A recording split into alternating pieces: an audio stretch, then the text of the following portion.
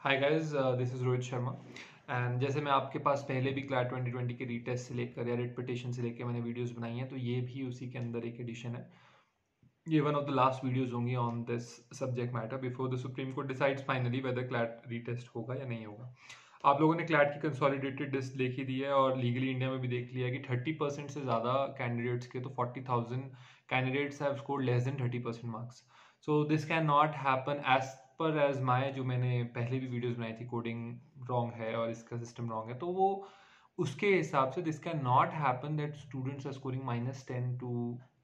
minus five zero पर five around five hundred candidates हैं this can not happen so coming back to the writ petition so writ petition जो है वो three जज bench के सामने लिस्ट हुई है, जो कि एक अच्छी चीज़ है because there will be a difference of opinion and even if like two जजेस agree to the CLAT retest petition and one does not then also situation will come in the favor of the candidate. If uh, the decision will come in the favor of the candidate if one judge agrees and two uh, do not agree then of course the decision will be that CLAT 2020 will stay now Mr. Justice Ashok Bhushan, Mr. Justice S. Subhash Reddy and Honorable Mr. Justice uh, Shah are the persons जहाँ पर uh, ये present हो सकती है petition उसके बाद इसकी जो टेंटेटिव डेट है वो नाइन्थ अक्टूबर 2020 को ये पिटीशन जो है वहाँ पर जाएगी आप लोग इस पिटीशन के केस स्टेटस को अगर देखना चाहते हैं तो मैं इस लिंक के इस वीडियो के लिंक के नीचे, वहाँ पे मैं पूरी डिटेल लिख दूँगा। सुप्रीम कोर्ट के ऑफिशियल साइट पे आप जाओ, वहाँ पर केस नंबर डालो। रिट पिटीशन है ये सिविल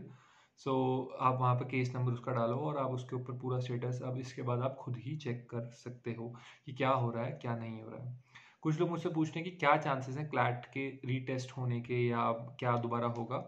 देखिए, सबसे पहले तो मैं बात कहूँगा कि जो आप लोगों को ये है कि हो ही जाएगा that's not true the case test totally with the supreme court whether it wants to appreciate the evidence कितनी कंप्लेंट्स आई हैं,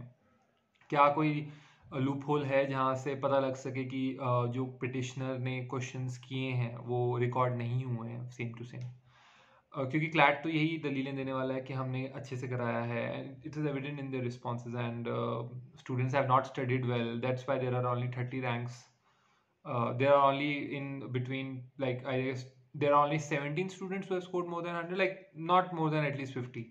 so 17 students you know ke 100 super marks so these are all the daleels wagera which the supreme court is going to give. They are going to give to the supreme court. Hopefully the supreme court will decide in a very fair and an impartial manner.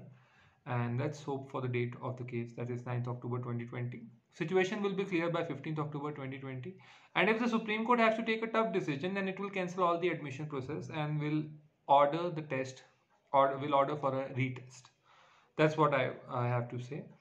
I wish you good luck for the case जिनका नहीं हो पाया है मैं बहुत दुख होता है कि अगर आपका नहीं हो पाया एग्जामिनेशन के फॉल्ट की वजह से यू आई इंटरफेस की फॉल्ट की वजह से